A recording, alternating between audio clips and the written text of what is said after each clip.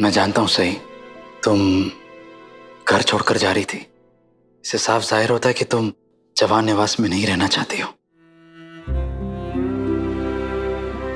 अगर तुम चाहो तो डिस्चार्ज के बाद तुम देवीदा और पुलकित के घर रह सकती हो। और जब भी तुम्हारा मन करे, तुम जवान निवास में लौट आना।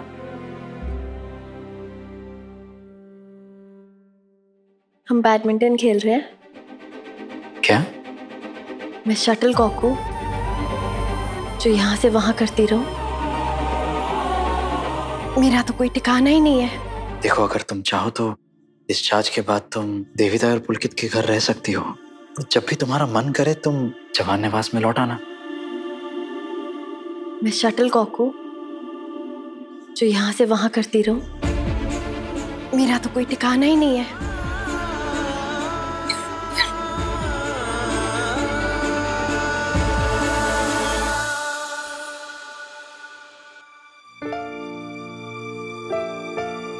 थोड़ा पानी पी लो सही।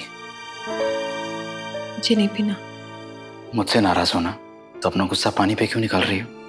ये लो पानी। I am so sorry I am so sorry एक मिनट। ये मैं कर लूँगी। आपको तकलीफ़ उठाने की कोई ज़रूरत नहीं है।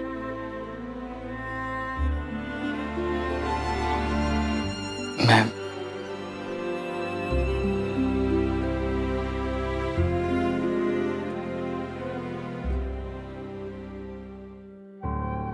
तुम्हारी फ्रस्ट्रेशन समझता हूँ मैं, सही।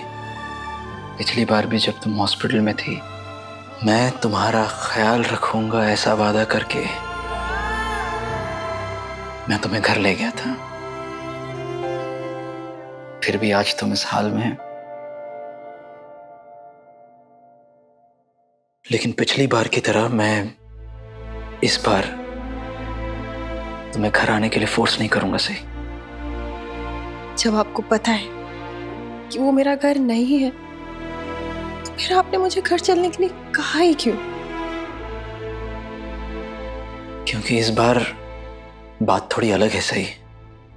तुम्हें तो पता ही है ना कि देवी ताई तुम्हें कितना मानती है, तुमसे कितना प्यार करती है। तुम्हें नहीं पता, तुम्हारे घर छोड़कर जाने से पहले ताई ने कैसे मुझसे झगड़ना शुरू कर दिया था? यहाँ तक कह दिया था कि वो मुझसे बात तक नहीं करेंगी। और तुम्हारे एक्सीडेंट के बाद टूट गई थी ताई। उन्हें संभालना नामुमकिन हो गया था। तो जैसे तैसे करके पुलकित ने उन्हें संभाला है। लेकिन, वो देवी ताई ने एक बात हमारे बारे में हम दोनों के बारे में नोटिस की है। और किसी और ने नोटिस नहीं की है ये। हमारे बारे में? हाँ। ताई ने क्या नोटिस किया हमारे बारे में? कैसे कहूँ? उनका ये मानना है कि जब भी हम दोनों के बीच में झगड़ा होता है या अनबन होती है और तुम मुझसे दूर जाने की कोशिश करती हो तो हम में से किसी एक की जान खतरे में आ जाती है। दोनों में से कोई एक जख्मी हो जाता है।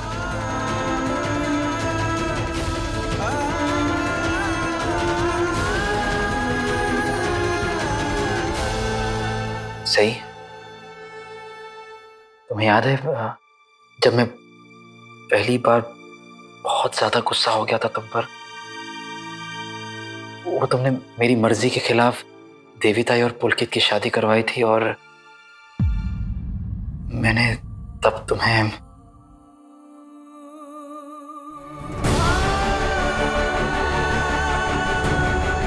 इनसे कहिए, इनको मैंने यहाँ से निकल जाने को कहा था।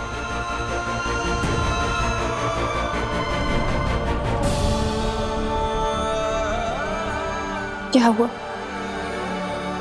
चुप क्यों हो गया बोलिए ना।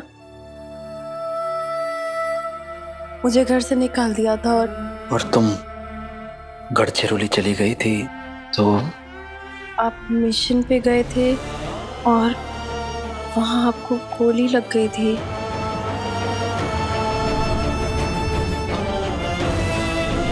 हाँ सही। और वो अजिंक्य वाली बात उसे लेकर जब मैं गुस्सा हो गया था और तुम्हारे साथ मैंने बुरा बर्ताव किया था और तुम तुम गुस्सा होकर घर छोड़कर चली गई थी। मेरा एक्सीडेंट हो गया था।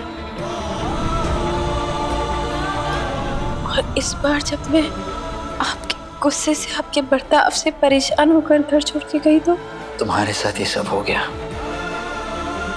पिछले दस दिन से तुम हॉस्पिटल में हो सही?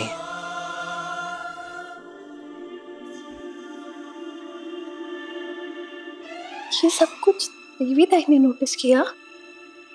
हाँ सही। सारे घर वाले यहाँ तक कि काकू भी इस बात को सुनकर इतनी शॉक थी।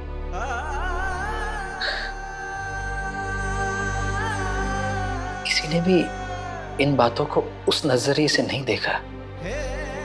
जैसे देवी ताई ने देखा। और उनका नज़रिया इतना सच्चा लग रहा था कि कोई भी उन बातों को छुटला नहीं पाया है। क्या इसीलिए काकू ने खास मेरे लिए पापा से प्रार्थना की थी? हाँ सही। कितनी अजीब बात है। कैसे सबको लगता है कि देवी ताई की दिमागी हालत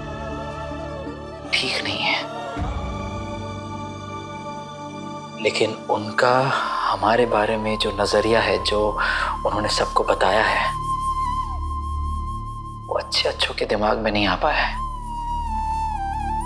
देवी ताई तुम्हारी सलामती की प्रार्थना कर रही है। तुम्हारा घर में लौटने का इंतज़ार कर रही है। मैंने ना देवी ताई को कभी भी किसी भी मामले में किसी से कम नहीं समझा। देवी ताई का बर्ताव भले ही बच्चों जैसा है लेकिन लेकिन उनके सोचने का नज़रिया सबसे अलग है। देवी ताई बहुत समझदार है। उन्हें वो सब नज़र आता है जो किसी को नज़र नहीं आता।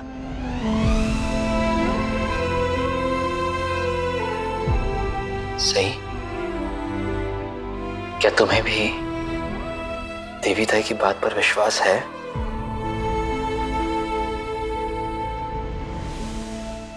अगर है,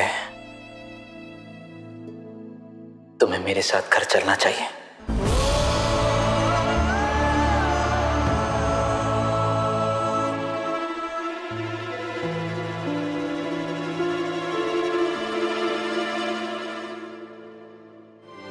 देखो, मैं तुमसे ये नहीं कह रहा हूँ कि तुम मुझे माफ़ कर दो।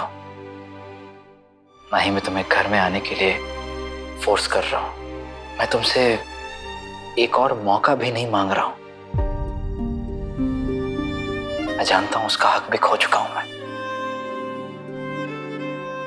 रही देवी ताई की बात जो उन्होंने हमारे बारे में नोटिस की है, अगर तुम्हें ऐसा लगता है कि ये सब एक अंधविश्वास है, तुम्हें इन बातों पर यकीन नहीं है। अगर तुम अपने कॉलेज का ट्रांसफ़र गढ़चिरौली में करवाना चाहती हो तो तो ये तुम्हारा फैसला है। तुम बस मुझे एक बार कह दो, तुम क्या करना चाहती हो? मैं खुद तुम्हें छोड़ने आऊँगा।